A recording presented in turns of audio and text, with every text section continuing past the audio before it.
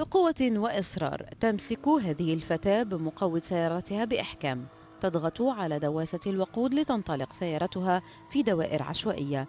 نور بن ضياء وهي مهندسة معمارية وقعت في حب سباق الانجراف أو الدرافت في عام 2019 عندما شاهدت سباقا عن طريق الصدفة. لكن الطريق أمام نور لم يكن سهلا إذ كان عليها مواجهة الصور النمطية والاستنكار من الأصدقاء والعائلة. شيء متاع المرأة ما تعرفش تسوق تحب ولا تكره في تونس في الوطن العربي في العالم الكل موجودة. معناها مش حكر على تونس هكا.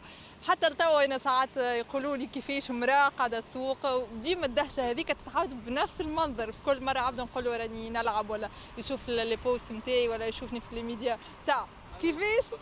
طفلة تسوق وليه وقاعدة تربح نتاع كيف منين جاك تتدرب نور حاليا على أول مسابقة دولية لها وستكون أول تونسية تشارك في هذا الحدث.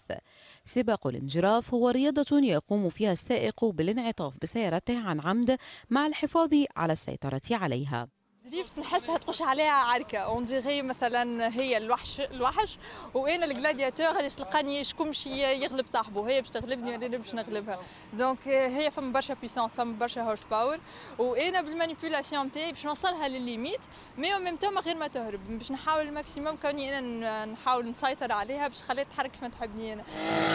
في الآونة الأخيرة أسست نور مع بعض صديقاتها ناديا لسباق الانجراف للنساء فقط.